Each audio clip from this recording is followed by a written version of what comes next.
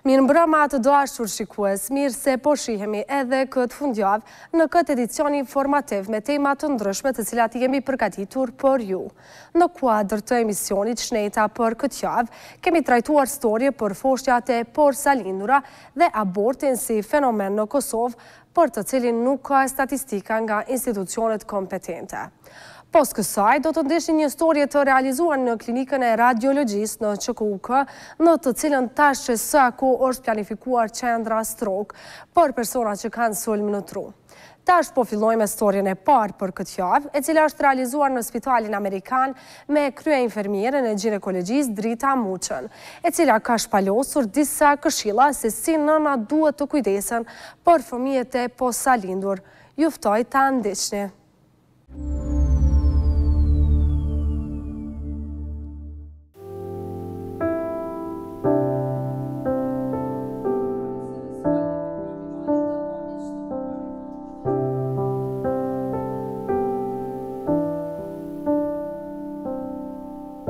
Brenda Departamentit të Gjinekologjisë në Spitalin Amerikan, kryhen procedurat që nga kontrollet rutina gjinekologjike e deri te lindjet e foshnjave dhe kujdesin neonatal.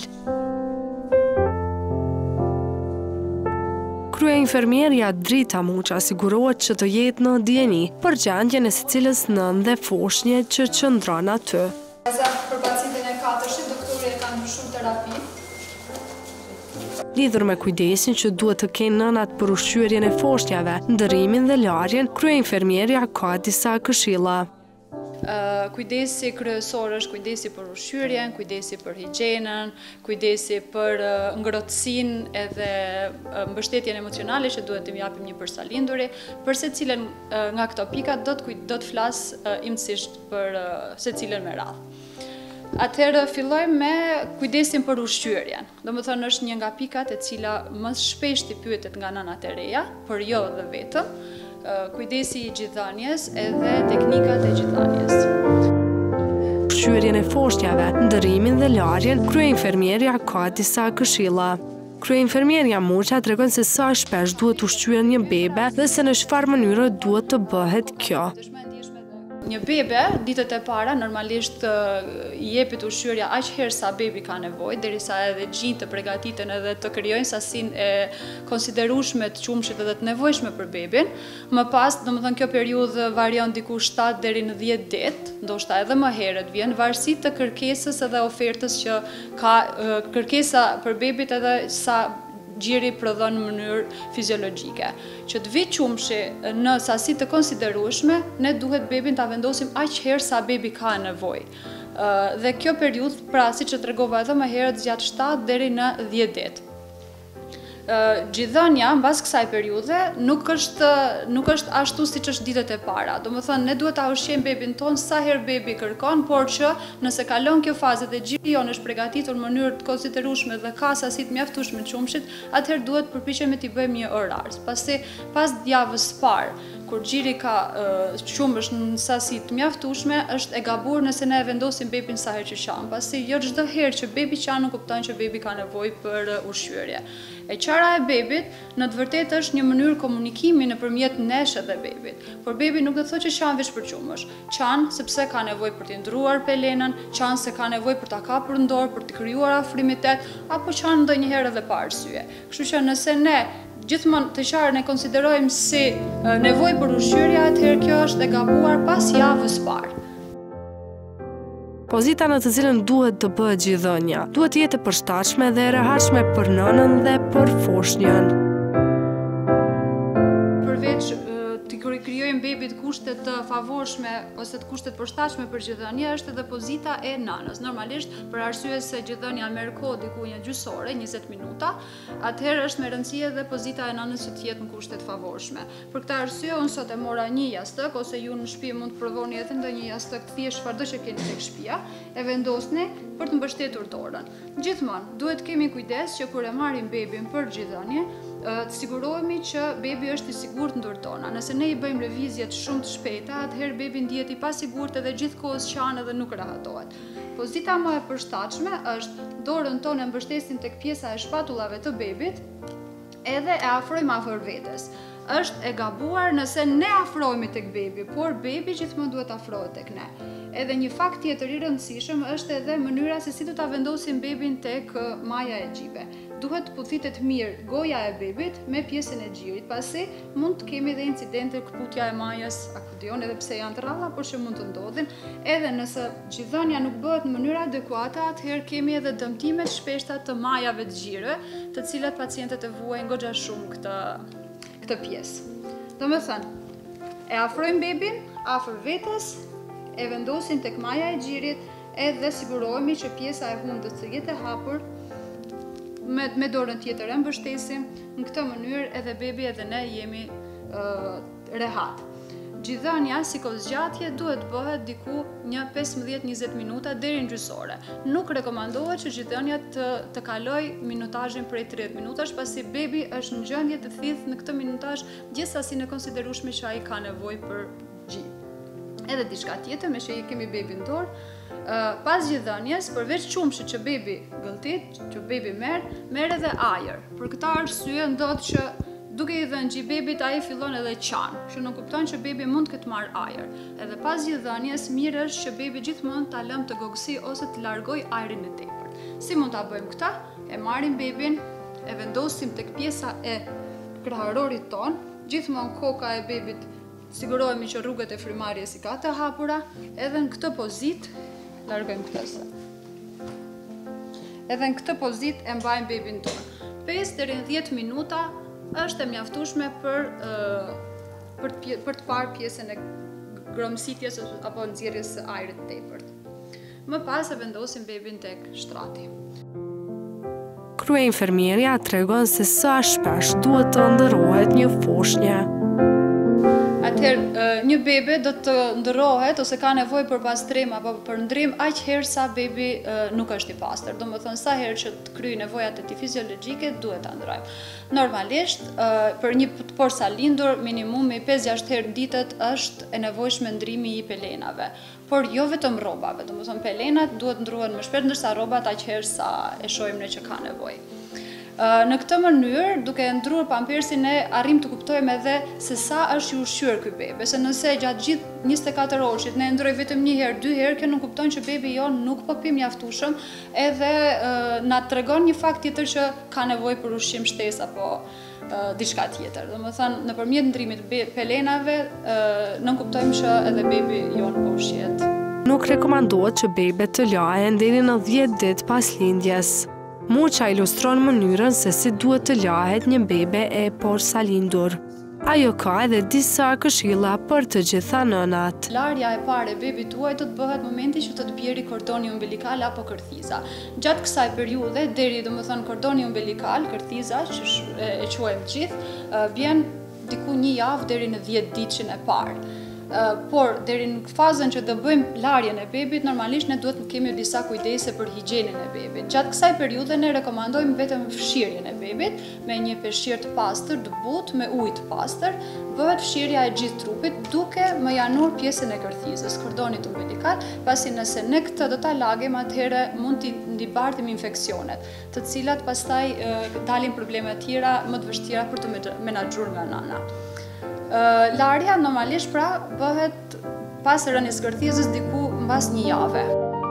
Muça ilustron mënyrën se si duhet të lahet një bebe e porsalindur. Edhe larja mund të bëhet edhe me dorë, po mund të bëhet edhe me një pelenë të butë. Ju ceka që nëse nëna, gjithmonë kjo varet edhe nga dëshira e nënës, nëse nëna do ta lajë bebin me shampo, atëherë nuk preferohet që shampo të hidhet direkt në lëkurën e bebit, por Fillimisht përhapet shampo në ujë.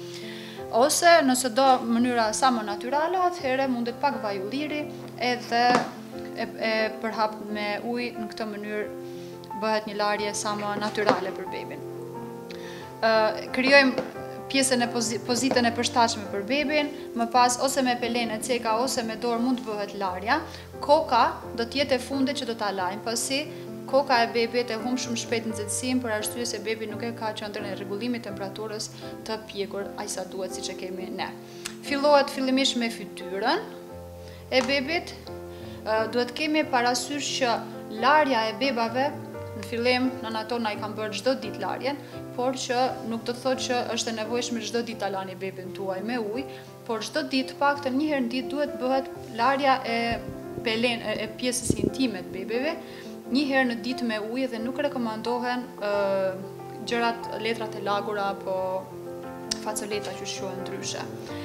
Çdo ditë duhet të pastrohet edhe pjesa e rrudhosjeve të lëkurës, që nënkupton beba gjithmonë tek pjesa e qafës do të vini re që se krijojnë papastërti qumësh apo edhe qime të ndryshme që grumbullohen nga gjidhënia, mbrapa veshëve, poshtë sjetullave edhe organet gjenitale.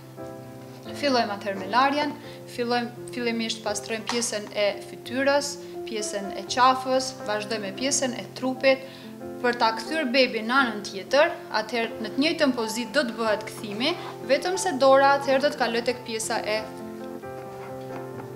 kraharorit. Edhe me dorën tjetër e kapim pjesën e krahut, në këtë mënyrë më pas bëjmë larjen e bebit. Peshqir sa më të butë dhe të pastër, fshihet pjesa e kokës sa më butësisht, jo duke e fërkuar me forcë, edhe më pas gjithë trupi. Ajo ka edhe disa këshilla për të gjitha nënat. Çdo nënë, qoftë e parë apo secili fëmijë duket si i parë, pavarësisht se mund ta ketë dytin apo tretin me radhë, është e frikësuar se a do të jetë nëna ideale apo nëna më e mira në botë për fëmijën. Kështu që këshilla ime e vetme është përveç këtyre këshillave që i folëm pak më lart, është që keni besim tek bebi sepse ju jeni nëna më e mirë në botë për bebin tuaj. Nuk ka nënë më të mirë që mund të dhëzoj.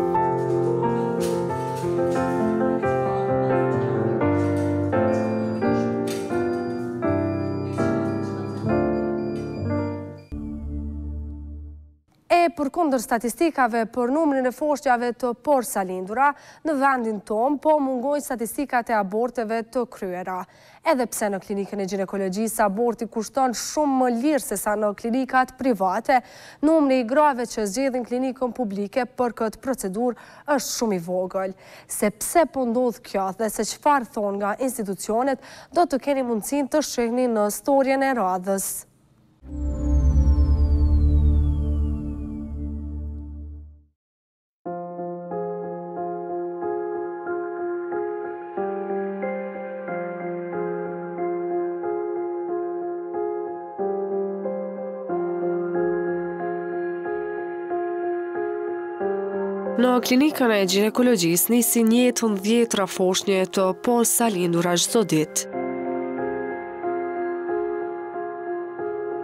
Mu në korridorin ku ndodhin lindjet, zë vend edhe dhoma në të cilën bëhet ndërprerja e shtatzënisë apo aborti. E që gratë të kryejnë një proces të tillë i cili është i rregulluar me ligj, duhet të paguajnë vetëm 20 euro. Edhe pse çmimi është i lirë dhe trajtimi aty i plotëson standardet e përcaktuara nga Ministria e Shëndetësisë, numri i grave që zgjedhin të abortojnë në këtë klinikë është i vogël. Prerjeve të shtatzanisë është bukur i madh, por nëse e marrim, nëse fokusohemi vetëm në abortet artificiale, ndoshta ato e kemi jetim, atëherë mund të them se nuk është aq i madh edhe në vitin paraprak, domethënë 2022, i kemi pas diku 114 aborte artificiale, domethënë kur e kemi fjalën te abortet artificiale, thom ë nënkuptojmë ato aborte që janë deri në javën e 10 edhe të lejuara me ligj, domethënë me vetëdëshirë të pacienteve, domethënë te pacientet madhore përmbi 18 vjeç, edhe janë të lejuara me ligj deri në javën e 10. Ato e marrim si aborte artificiale, dëshirojnë vetë. ë Këto aborte te na gjatë vitit dy mijë e njëzet e dy kanë qenë njëqind e katërmbëdhjetë raste gjithsej ndërsa deri tash këtë vit janë dikun pesëdhjetë e katër aborte. Se pse brenda një viti ka kaq pak aborte aty, sipas drejtorit të klinikës është sepse gratë përzgjedhin klinikat private për ndërhyrje të tilla. Kjo ndodh edhe për shkak të frikës që kanë për zbulimin e identitetit të tyre. Krahasim me, mendoj, të marr periudhat para disa viteve, që edhe pas luftës që jemi këtu, pas luftës kemi pas shumë, shumë, ma shumë raste, tash janë arsyet e ndryshme, ndoshta Pak që janë hapë edhe ordinancat ose klinikat private, domethënë spitalet private, hapet mundësia që mund me kry edhe ato këto intervenime. Tjetër, është vetëdijesimi i popullatës, me siguri është për mjete kontraceptive, domethënë që mos Të jetë, ta thamë, që mos të jetë aborti mjet kontraceptiv po të jenë, të jenë mjete tjera kontraceptive ato që e parandalojnë abortin ose që e parandalojnë shtatzaninë ndoshta edhe një vetëdijesim i popullatës pastaj kushtet socio-ekonomike domethënë që janë pak a shumë jo të mira në Kosovë e dimë të gjithë si janë Por sa i përket privatësisë së pacienteve që shkojnë për të abortuar në gjinekologji, drejtori thotë se s'ka mundësi që dikush tjetër të ketë qasje në dokumentacionin e tyre. Se duhet të ruhet privatësia e çdo pacientit, jo vetëm me abortu, por çdo pacientit tjetër, edhe nuk ka qasje dikush tjetër në dokumentacionin e tyre ose historitë e tyre përpos pacientit dhe mjekëve. Se identiteti i grave që shkojnë për të abortuar në klinikë zbulohet lehtë, e thotë Leonida Molliqaj nga organizata Qika. Ajo kërkon që shteti të mbrojë privatësinë e secilës grua që e merr këtë vendim. Thjesht është me u siguru, mja u ofru grave mbrojtjen e identitetit të tyne, grave të cilat vendosin me bo abort, në ni vend të vogël si Kosova, ku gjasat me pas dajën mjek apo hallën janë shumë të mëdha edhe zakonisht kjo i shtin vajzat edhe gratë me mos me bo aborte nëpër klinika publike ku identiteti fatkeqësisht është shumë lehtë i zbulushëm, nuk e di sot, po ma herët kur na kemi realizu ni Raport hulumtues, Salla e aborteve ka qenë një prej në korridoret ma të frekuentume të repartit të gjinekologjisë në QKUK, ku gjasat kanë qenë shumë të mdhaja që me u ditë kush po kryen abort, me ditë identitetin e personit që po donë me kry abort apo të prindve, Kështu që kjo i ka shti vajzat dhe gratë me gjetë rrugë tjera të abortit. Madje, sipas Molliqajt, abortet në disa prej klinikave private nuk i plotësojnë kushtet e caktuara. Meqenëse në institucionet shtetërore atë sa kemi pa, realizohet një numër relativisht jo shumë i madh i aborteve, ajo kjo tregon edhe që shumica prej tyne bëhen nëpër ordinanca private. Kur ne kemi realizu hulumtimin kemi pa që ordinancat private të cilat kanë pas të drejtë me realizu aborte kanë qenë vetëm ordinancat e mëdha, pra po klinikat e mëdha të cilat përveç që kanë çmime shumë të shtrejta, gjithashtu duhet me ofru edhe shërbimin spitalor, pra që nëse gruaja ka nevojë me qëndru gjatë natës, spital apo jo, ndërsa në anën tjetër kemi pas edhe raste publike të cilat e kemi pa që abortet janë tu bo edhe në klinika të vogla, të cilat s'janë të licencume, e të cilat s'i ofrojnë kushtet minimale për realizimin, për realizimin e abortit. Molliqaj thotë se ka dëgjuar raste ku gratë kanë shkuar për të abortuar në klinikën e gjinekologjisë dhe janë përballur me paragjykime. Institucionet shëndetësore në Kosovë Vetë janë një farë burimi i stigmës për abortin. Domethënë, është shumë e vërejtshme nëse diskuton me mjek. Zakonisht tregojnë që shumë shpesh gratë që shkojnë me abortu tentojnë me i bind edhe këtë nuk e bëjnë për qëllim të keq, po ata përnime besojnë që kanë të drejtë me i bind gratë që aborti nuk është zgjidhja. Tash është me rëndësi me përmend që ndonëse njohim të drejtën e abortit, ne gjithmonë e dimë që është më mirë të parandalojmë shtatzëninë e padëshiruar sesa të kemi një abort. Pra është normale të diskutohet për efektet që mund të ndodhin pas abortit. Drejtori i klinikës nuk është i pajtimit me këtë mendim. Jo, ndoshta ma heret ka qenë paragjykim ose kanë akuzu, ose kanë etiketu dikën, po tash jo, janë në zhdukje, në eliminim ato, ato raste dhe prej, prej stafit, prej mjekve, domethënë gjithmonë, është një bashkëpunim me pacientin edhe një, një disa këshilla mund t'jepen, që mos të përdoret aborti si mjet, si mjet kontraceptiv.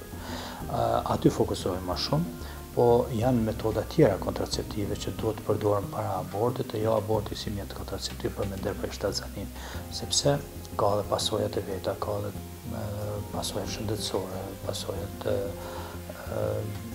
tjera psikike, gjitha që ato ndikojnë në një lidhje ose në një jetë normale ma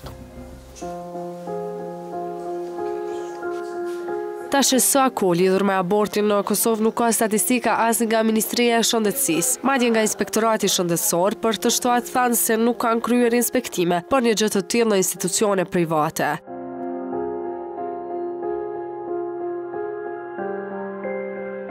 Aborti në Kosovë është i përcaktuar me ligj ku lejon që gratë të cilat janë në moshë madhore të vendosin nëse duan të ndërprejnë shtatzëninë deri në javën e dhjetë.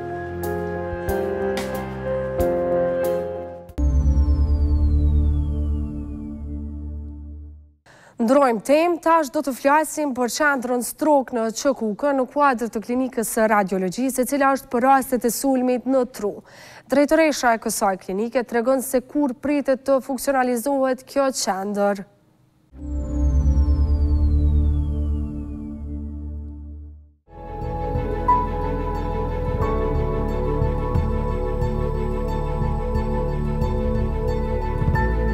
Pajisjet siç janë CT-ja dhe ajo e rezonancës magnetike janë në funksion tash sa vite në klinikën e neurologjisë. Këto mund të përdoren për qendrën stroke e cila është themeluar para disa vitesh për të shpëtuar pacientët të cilët kanë sulme në tru. Së fundmi janë dërguar dy radiologë në Turqi për t'u trajnuar lidhur me këtë ndërhyrje në tru. Drejtoresha e radiologjisë Shkendije Nuza thotë se pritet që qendra të jetë në funksion pas një viti. Unë unë mendoj se special, domethënë si tansi këto trajnimit zgjat një vit. Domethënë, pas trajnimit, metodat e para do të fillojnë dhe më herë, shumë më herët. Ka janë bërë disa më herët, do të fillojnë të vazhdojnë e vazhdimësia e tyre, disa prej metoda që janë bërë më herët si trombektomia, janë kry më herët 2020-2022 dikun 6 raste. Edhe besoj se ato do të bëjnë ndërsa për e, procedurat tjera që janë trajtimet e aneurizmave, embolizimet dhe procedurat tjera të strokut, ato besoj që pas një viti do të jenë me shpresojmë edhe me me mbështetjen edhe premtimet që i kanë dhënë profesori edhe doktoresha nga Turqia besoj që do të kemi stafin e gatshëm. Nuza tregon se a ka staf dhe aparatura për qendrën strok. Për momentin, staf ka në gjithë radiologia, kohët e fundit është vazhdimësi perfeksionimi, ngritjen e shërbimeve, qendra klinike universitare si nivel terciar. Në vazhdimësi do të mundohemi t'i ngrisim shërbimet e nivelit terciar, se për momentin na bëjmë shumë punë të nivelit sekondar, ndoshta edhe në njerë, sidomos ekzaminim me rengen, ultrasonografi, kemi edhe të niveleve primare, ti e di që se dhe në gjitha shtëpitë e shëndetit, gjitha spitalet regionale, Kanë rengen, kanë ultrazë dhe kanë CT. A fluksi i madh i pacientëve është më i madh është te ne si klinikë në raportin gjashtëmujor i kemi shtatëdhjetë e dy mijë e pesëqind pacienta. Por çka saktësisht është qendra Stroke dhe për çfarë ndërhyrjesh bëhet fjalë? Stroke Center është një qendër, domethënë multidisiplinare, ku bëjnë pjesë radiologji, neurologji, pjesa e emergjencës dhe urgjenca e qytetit, flasim pjesë përbërëse e tyre duhet të jetë dhe anesteziologët të gjithë, por që trajtohen ku trajtohen urgjencat neurologjike. Domethënë gjendjet e sulmeve akute në tru, një prej tyre që është trombektomia mekanike, domethënë me të cilën i shpëtohet jeta një pacienti, i shpëtohet prej invaliditeteve të rënda të cilat janë shumë me pasoja tutje në për jetën e mëtutjeshme të pacientit që domethënë pacientat edhe nuk, nuk janë mosh, vetëm moshat e reja që atakon, po atakon edhe moshat e, edhe mosha shumë më të reja. është pjesa në stroke center bëhet pjesa e procedurave të rregullta ku bëhet DSA ekzaminimi, ekzaminimi i enëve të gjakut për, si metodë diagnostike, duhet të bëhet embolizimi, i enëve të gjakut, kojlingjet e aneurizmave për të cilat ende pacientat tanë shkojnë për trajtime jashtë vendit, do të bëhen stentimet e vazave të gjakut, procedurat, gjitha këto intervente endovaskulare. Domethënë, është një kompleksitet i madh i shërbimeve të cilat do të përfshihen më tutje dhe një kompleksitet i drejtimeve mjekësore që duhet të merren me të më Lidhur me sulmet në tru në Klinikën e Radiologjisë, aktualisht kryhen vetëm metoda diagnostike. Për momentin radiologjia është metodë, përdorim të gjitha metodat diagnostike. Domethënë është pacienti së pari dyshimin për një ndonjë sulm ose për diçka në tru, do të jetë ose mjeku i emergjencës ose neurologu. Varet se ku qasje ka pacienti apo ka ardhë përmes emergjencës, apo ka shku nga shërbimi neurologjik, po kryesisht shkojnë përmes shërbimit neurologjik, dhe pastaj tutje ekzaminimi i parë që bëhet është CT ekzaminimi, pastaj tutje bëhet CT angio, vendosen cilat është procedurat, rezonanca magnetike, gjitha ato procedura këtu, të cilat vendoset për trajtimin, cila metodë e mëtutjeshme, mëtutjeshme e trajtimit është e nevojshme për pacientin. Te rastet e dyshimta për aneurizma të trurit bëhet edhe ekzaminimi me Digital Subtraction Angiography quhet, apo DSA më shkurt siç e quajmë ne, për diferencimi dhe diagnostikimi ma të saktë të enëve të gjakut të cilat janë të zgjeruara, të cilat tutje mund të rrezikojnë të perforojnë dhe të bëhet një gjakderdhje në tru. Noza thotë se së fundmi në radiologji kanë ardhur mjekë nga Turqia për të trajnuar stafin lidhur me qendrën stroke. Javën e kaluar mjekët që kanë ardhur nga spitali University Aydin Hospital nga Istanbuli në Turqi janë është pjesë e vazhdimësisë së trajnimeve për Stroke Center për momentin kur ne si klinikë janë ata si qendër spitali universitar kanë pranuar dy nga mjekët tonë për trajnim njëvjeçar për trajnim domethënë për gjitha shërbimet e Stroke Center. Domethënë domethënë përgjithësisht jo vetëm trombektomi, Metoda diagnostike por gjitha embolizim coiling dhe stentimet e enëve të gjakut, që më tutje presim të rend pas rendit të funksionalizojnë. Ky trajnim do të zgjasë rreth një është planifikuar dhe i kërkuar me insistim të mjekëve dhe profesorit nga Turqia që jo më pak se një. Brenda këtij shërbimi pritet të ketë radiologë të profilizuar për qendrën strok. Pak a shumë është e profilizune, Po, do të mundohem sa ma shumë, domethënë mundohemi me i profilizu drejtimet, janë të ndarë një grup i mjekëve radiologë intervent, se trajnime, ka, trajnime për strok ka, ka fillu edhe më herët, ka pas edhe më herët, domethënë janë traj, e, ka, fillu, ka fillu si shërbim, por në kuadër të vazhdimësisë së kësaj ne kemi vazhduar edhe bashkëpunimin me spitalin turk, me rritjen e numrit të mjekëve dhe pastaj mjekët tanë që janë, që janë Në trajnim atje ta shpërndajnë dijen e tyre edhe së shpejti presim të bëjmë edhe një marrëveshje bashkëpunimi me spitalin e njëjtë që më tutje mjekët e rinj apo edhe specializantët në fund vitin e fundit të kemi mundësi që i dërgojmë trajnime. Në klinikën e radiologjisë në QKUK ka filluar të ulet kohëzgjatja e pritjeve për të marrë shërbime.